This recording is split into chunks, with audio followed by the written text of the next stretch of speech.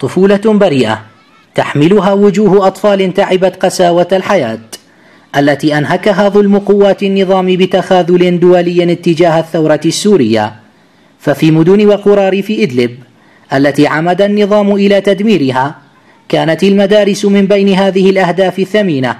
فبعد تدمير أغلب مدارس ريف إدلب قامت ألوية صقور الشام بإحداث مشاريع تعليمية لتدريس الأطفال. قمنا بإنشاء هذه المدرسة المتواضعة آه، في مناطقنا المحررة بعد أن قصف هذا النظام الغاشم المتوحش قرانا ومنازلنا وحتى المدارس لم تسلم, لم تسلم منه. فقمنا بإنشاء هذه المدرسة المتواضعة في منطقة ريفية جبلية لكي نحافظ على أطفالنا الصغار آه، من الجهل والأمية التي يبحث عنها هذا النظام منذ مئة عام.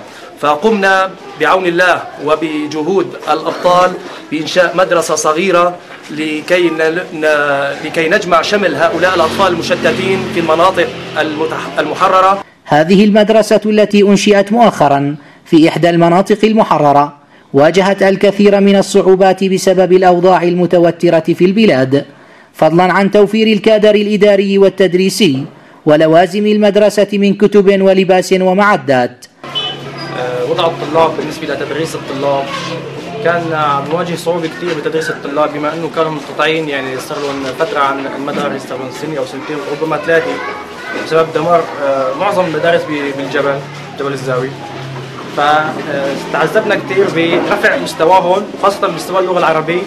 لأن اللغة العربية آه، إذا ما في ممارسة فتنسى خاصة لدى الطلاب في المراحل الدنيا مثلا أول ثاني ثالث. بالنسبة للصف الثالث والسادس آه، صرنا نعطيهم منهاج سهل شيء إنه آه، يمسكوا اللغة العربية من الأول. أهمية هذه المدرسة تكمن في التقليل من آثار الحرب على نفسية الأطفال ومعالجة مشاكلهم في المجتمع من خلال إعادة تأهيلهم معنويا ونفسيا.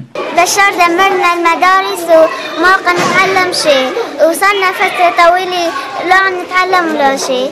قام قالوا لنا هون درس المدرسة قمنا جينا صرنا ندرس هون من هنا يستمر هؤلاء الأطفال بإكمال أحلامهم الصغيرة التي ضيعوها في الماضي على الرغم من المآسي التي يتعرضون لها كل يوم.